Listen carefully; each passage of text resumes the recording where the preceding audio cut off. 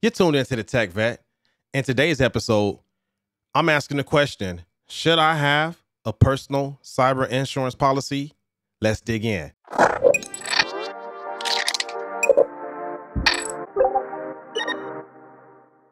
To get us started, let's head to USAA to find out what a personal cyber insurance policy is.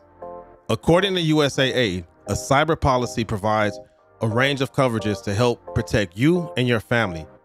It can help cover expenses related to a cyber attack, such as identity theft, fraud, ransomware, cyberbullying, and more. You can get coverage up to $10,000, $25,000, or $50,000.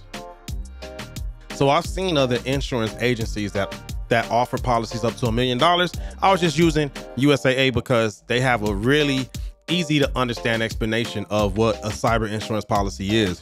Why does this matter? Well, let's head over to Forbes Advisor to look at some stats that I think you really should know. There are more than 4,000 ransomware attacks every day in the United States since 2016. According to the FBI, that's a 300% increase since 2015 which averaged 1,000 ransomware attacks per day. And that's just ransomware attacks. There are so many different cyber attacks out there and cyber threats, but that's for another video. But for right now, let me share uh, some cyber attacks that happened just within the last month, just so you can see just how real these cyber threats are. Remember the MGM cyber attack? That's still fresh, right?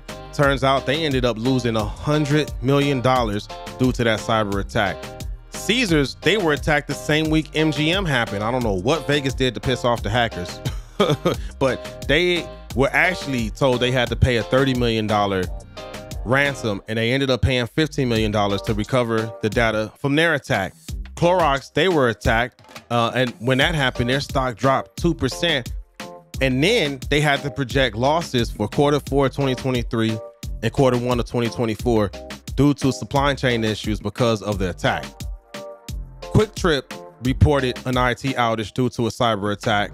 The St. Louis Metro Transit was hit with a nasty cyber attack. Simpson Manufacturing Company shut down due to a cyber attack. I haven't seen any reports of the impact of that cyber attack, but I'm sure they will come in due time, right? and then I saved the best one for last. 23andMe was attacked, and it has reported that this was a targeted attack to a certain community, and I won't say what community that is because I'm not getting accused of anything.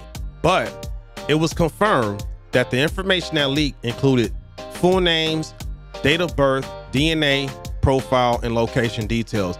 Another thing to pay attention to is this statement here. Attackers initially gained unauthorized access to a small number of accounts, but eventually exfiltrated the data of a larger yet undefined number of clients due to them activating an optional feature named DNA relatives, which connects genetic relatives. With that last attack, the bad actors were given a roadmap to more victims.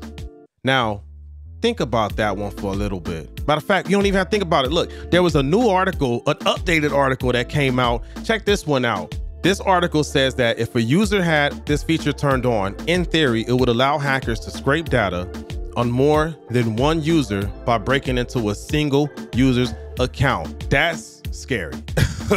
I'm not gonna lie. That's pretty scary. So we started this episode talking about how cyber attackers have been targeting companies and how those attacks can lead them to consumers like you and I, right? And so you might be looking at this saying, yeah, that'll never happen to me. Well, let me introduce you to Miss Bloom. Miss Bloom was a victim of a social engineering attack and she lost $661,000, which was her whole retirement savings. So, uh, just because, you know, maybe it hasn't happened to you yet, as they say, anybody can get touched, right? Uh, especially on the internet. So think about that one for a little bit. Now, these cyber attacks that I just shared with you, they all happen just within the last month. uh, so if, if if if you need some some things to think about as far as saying, hey, you know what, do I should I get this cyber insurance policy? Just think about that. This stuff happened all within the last month. And that shows you these cyber attacks are really real. so now think about the millions of consumers that use the services and products of these companies that got hacked, right? I use Clorox, right? So maybe they didn't get my info from Clorox, but maybe they got my info from the the stores that I go to and get my Clorox products from, right? And then I've been to QuikTrips. I've been to a QuikTrips. Um, so I know they have, you know, some of my information there. But thank goodness I never got onto the 23andMe craze. I just missed it. But how many of you did get into that craze? And if you're saying, hey, I did that, uh, you might want to go check your credits right now.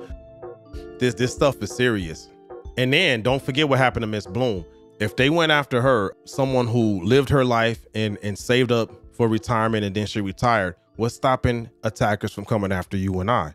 Huh? Here's the deal. When you surf the web, you accept all the risks that come with surfing the web, just like you accept the risk of driving on the road with crazy people every time you jump in the car. Now, you wouldn't jump in the car without insurance, right? Uh, well, I mean, unless you you riding dirty like that, right? and I think it's really getting to the point to where getting on the internet requires the same level of protection against liabilities, just like driving your car, right? You get insurance for your car to protect yourself from any liabilities just in case of a mishap. And I believe we're there for the internet as well. Leave a comment below. Let me know if you think that uh, after what I just showed you, it's a good idea for you to get yourself a cyber insurance policy. I'll let you know right now, I use Experian and I check my credit every day. I got my credit account unlocked and I have identity theft, but I'm also researching, you know, insurance agencies to see which which agency has the right policy for me, right? Because uh, I got to protect myself, and I urge you all to do the same. Earlier, I quoted that there are over 4,000 ransomware attacks a day in the US.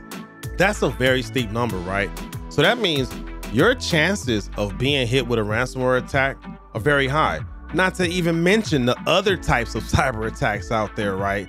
And don't forget what happened uh, with, with 23andMe. So again, someone could, can hack an organization like 23andMe and use that data there to get to you, right? Um, and please, please, please don't forget what happened to Miss Bloom because if it happened to her, uh, it could happen to anybody, right? So I think you should have a policy to protect yourself.